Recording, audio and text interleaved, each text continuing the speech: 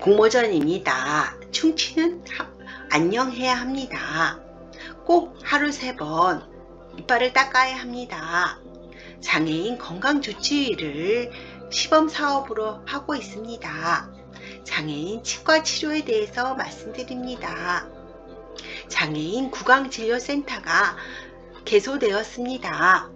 7, 9개 권역에서 장애인들을 위한 치과 진료를 합니다. 권역이 보이시죠? 스마일 재단에서 많은 지원을 합니다. 저소득 장애인들에게 지원했습니다. 봉사활동도 하- 나갑니다. 홍보 활동도 하고 있지요. 스마일 재단에서 많은 사업들을 합니다. 행복한 우리 복지관에도 치과 진료소가 있습니다. 대전시 치과 진료소입니다.